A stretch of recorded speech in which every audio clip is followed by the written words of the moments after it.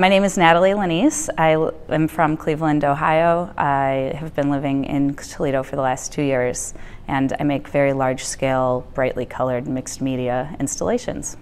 I moved to Toledo two years ago after I was hired as painting and drawing professor at Siena Heights University in Adrian.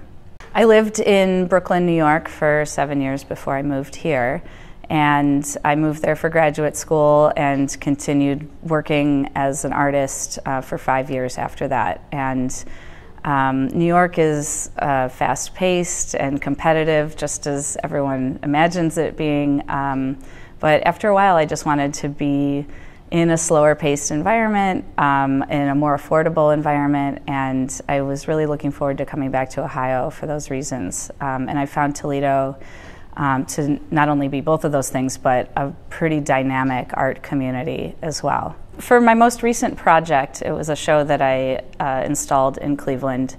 I began to think uh, more specifically about how painting relates to the architecture of a space.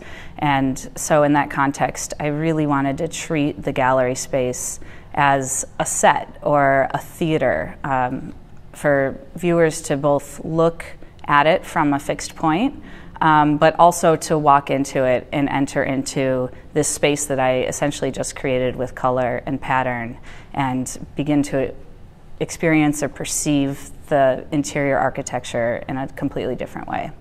Well, humor is just important to me in my life, um, and therefore it's very important to my work, um, mostly for the reason that I want my work to be accessible to anybody. Um, that was always my goal while I was in graduate school and, and most of the work since I've made since then that um, both my five year old niece and my graduate school professor can approach the work and enjoy it on some level. Well, I think I had a pretty normal American childhood, and that's definitely something that um, you know comes back a lot uh, in my work. I mean, nostalgia is a huge part of what I do. Um, I think you know using nostalgia allows people to kind of connect with the work on like kind of a warm level you know they connect with me- their own memories um, and so it's sort of my way to kind of pull someone in really maybe think about what our culture has